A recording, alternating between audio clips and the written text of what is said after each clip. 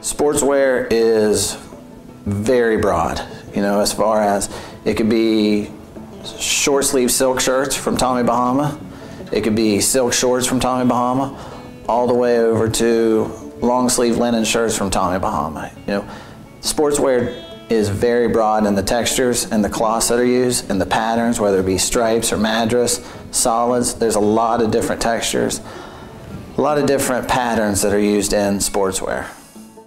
Sportswear at Daniel's Men's Store isn't athletic wear that a lot of people would consider it to be. It's more think golf wear. So nicer shorts, nicer trousers, but then Tommy Bahama Southern Tide sports sporting shirts for the sportswear. It's uh, more of a refined gentleman, kind of casual Friday look.